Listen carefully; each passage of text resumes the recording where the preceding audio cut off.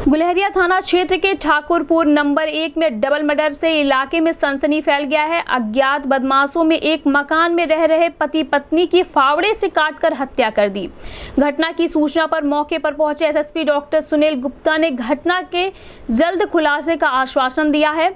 मिली जानकारी के अनुसार गुलहरिया थाना क्षेत्र के ठाकुरपुर नंबर एक के गड़िया टोला के पूर्व चिलुआ ताल के पास एक वर्ष से मकान बनाकर रह रहे पति पत्नी की मंगलवार की रात फावड़े से मारकर हत्या कर दी गई।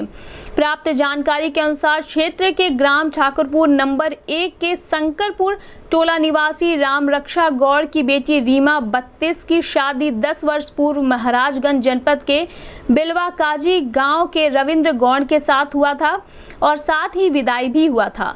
शादी के पंद्रह दिन बाद पति की बाइक से जाते समय सड़क दुर्घटना में मौत हो गई थी। उसके कुछ दिन बाद वह मैके चली गई थी। कुछ दिन रहने के बाद पिता राम रक्षा ने उसकी दूसरी शादी गुलहरिया क्षेत्र के जंगल डुमरी नंबर के दो टोला पोखरियावा निवासी राजेंद्र गौड़ के साथ कर दिया था।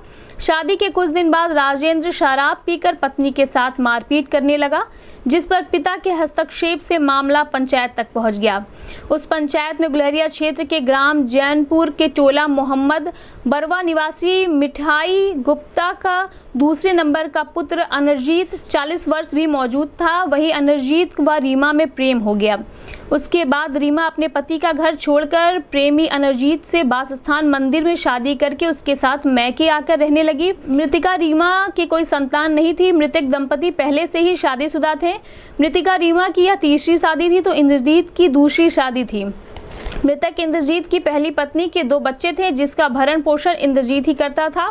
मृतक अनजीत भटहट स्थित एक गैस एजेंसी पर गैस वितरण का कार्य करता था। घटना की सूचना पर SSP doctor Sunil Gupta, SP north Arvind Kumar Pandey, CO Chauri Chaura Rachna Mishra, crime inspector Ram Bhawan Yadav, प्रभारी निरीक्षक गुलेरिया रवि कुमार राय प्रभारी निरीक्षक शाहपुर प्रभारी निरीक्षक गोरखनाथ के साथ ही डॉग स्क्वाड तथा फॉरेंसिक टीम पहुँची और मामले की तफ्तीश में जुट गई। एसएसपी डॉक्टर सुनील गुप्ता ने बताया कि मृतक अनरजीत गुप्ता 35 वर्ष, पहली पत्नी के रहते दो साल से रीमा गौड़ के साथ गाँव के बाहर खेत में मकान बनवाकर रहते थे, जो कि रीमा गौड़ भी अपने दो पतियों को छोड़कर तीसरे अनरजीत गुप्ता के साथ रह रही थी। फॉरेंसिक टीम व पुलिस टीम हत्यारों के नज़दीक पहुँच चुकी है। बहुत ही जल्द हत्यारे पुलिस की गिरफ्त में होंगे। इस संबंध में गोरखपुर न्यूज़ से बात करते हुए एसएसपी डॉक्टर सुनील गुप्ता ने कहा।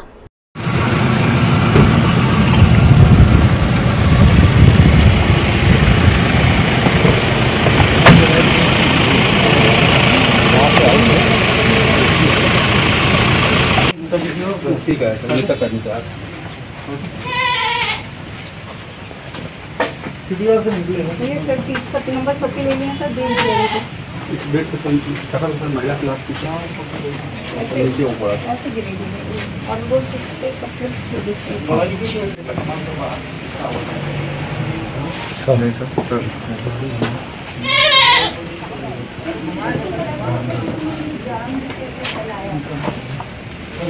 ये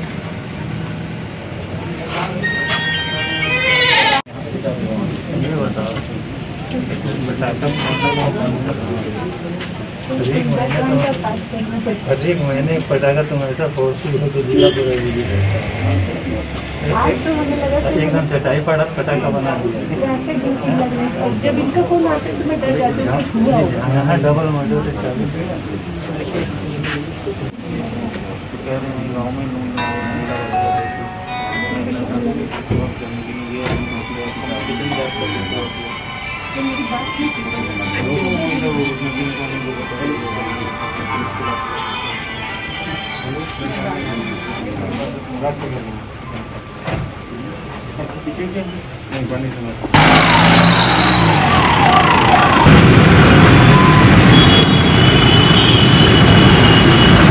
पति पत्नी हैं जो अकेले एक घर गाँव से बाहर एक जगह मकान में रह रहे थे उनका मर्डर हुआ है प्रथम दृष्टया मर्डर ही इसमें टीमें लगा दी गई हैं।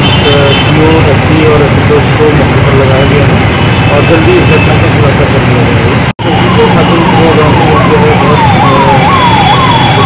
कोर्स स्कूल इंजीनियरिंग वहाँ पर और कुछ खाना दो लोगों से ज़्यादा बना था पति पत्नी अकेले ही रह रहे थे वहाँ पर। और जितना भी वहाँ पर जो एविडेंसेस हैं, वैज्ञानिक एविडेंसेस फ़सल और स्क्वाड वगैरह बुला करके, और उसकी का रही सामने आएगा और कोई भी दोषी नहीं पड़ा नहीं जाएगा। जो मृतक है, उसकी भी पहली पत्नी थी और ये इस महिला के साथ रह रहा था। और महिला की भी दो शादियाँ पहले हो चुकी ये तीसरे पुरुष के साथ वो रह रही थी। और इस संबंध में भी जाँच की जा रही है कि उनके पूर्व के संबंध या और बाकी कहाँ क्या था ठीक।